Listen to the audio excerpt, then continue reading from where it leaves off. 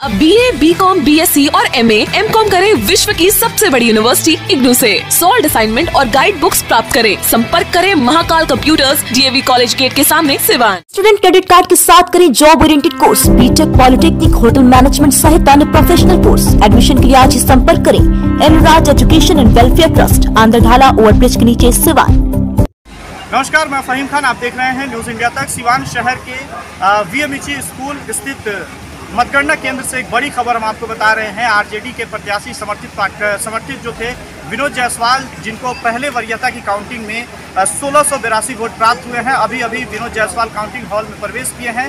हालाँकि दूसरी वरीयता की काउंटिंग चल रही है लेकिन प्रवेश करते वक्त वक्त जो विनोद जायसवाल किस तरह से बेबाकी से अपनी बात मीडिया कर्मियों के साथ रखे हैं सबसे पहले आप उसे देखें। सबसे आगे चल रहे हैं। सोलह सौ तिरासी वोट मिले हैं क्या कुछ कहेंगे सर? आगे हैं आप। हाँ मैं सारे जनप्रतिनिधियों का धन्यवाद देता हूँ। शुभकामनाएँ देता हूँ हार्दिक अभिनंदन करता हूँ कि उन्होंने हम पर विश्वास किया।